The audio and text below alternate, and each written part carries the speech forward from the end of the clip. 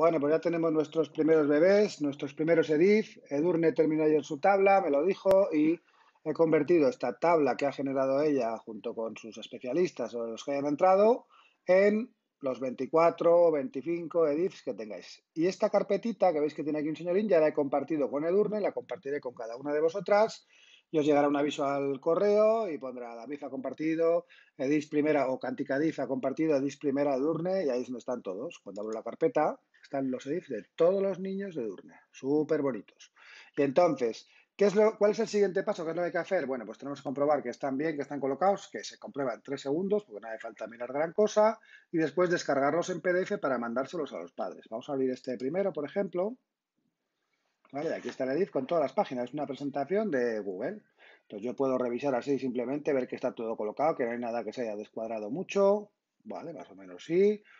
Y en el caso de este trimestre, si todo el nivel habéis decidido no poner eh, ítems de música, ¿vale? Si todo el nivel habéis dicho, pues no ponemos música, lo que va a recibir los padres va a ser todos los ítems y esto en blanco. Entonces, si entráis en cada uno de los niños, pincháis en esta diapositiva y os la cargáis haciendo clic derecho, eliminar, y en esta otra, clic derecho, eliminar, los padres ni siquiera ven música y creo que quedaría mejor, pero hacerlo como queráis.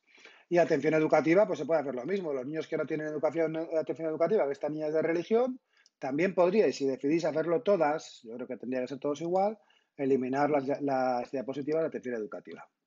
Voy a deshacer para que lo siga teniendo Edurne. Bueno, ahora lo deshago un segundo. Y venga, pim, pim, pim, pim, y música. Y ahora lo que vamos a hacer es el último paso, que es descargar en PDF cada una de, las, de los edits de los niños para enviarse a los padres. ¿Cómo se hace? Archivo, descargar, busco aquí documento PDF y se está descargando ya en mi ordenador un documento PDF con el boletín de esta niña. Lo mismo hay que hacer con cada uno de los niños. Tarda un poquitín porque está convirtiendo una presentación entera en documento PDF. Entonces, eh, podéis hacer varios a la vez, no demasiados dependiendo del ordenador, porque si no se atascará el ordenador y listo. Una vez que tengáis los PDFs, pues envíalo a los padres por el aula virtual y ya está, no hay más trabajo. Entonces, eh, repasando un poquitín en lo que se descarga el PDF. Uno, os va a llegar un aviso al correo. Bueno, uno, me tenéis que decir a mí que habéis terminado la tabla, que ya está terminada. Entonces, yo os, quitaré permisos de edición en la tabla para que no cambiéis nada, porque si no, luego se descuadra todo.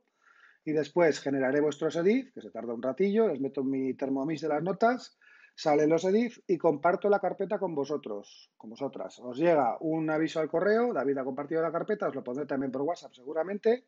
Y entonces tenéis que ir a compartido conmigo en Google Drive o pinchar en el enlace del correo electrónico y abriréis esa carpeta que hemos visto antes, está de aquí, con todos los edits de vuestra clase. Y luego simplemente ir uno por uno, revisando que está todo perfecto y en su sitio.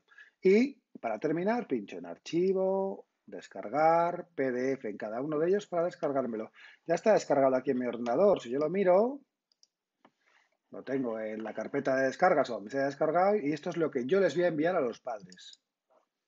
Pincho y ese documento es el que ven los padres, un PDF con las notas de la niña. ¿Ok? Vale, pues nada, si hay algún problema, alguna duda, ya me contáis. Hasta luego.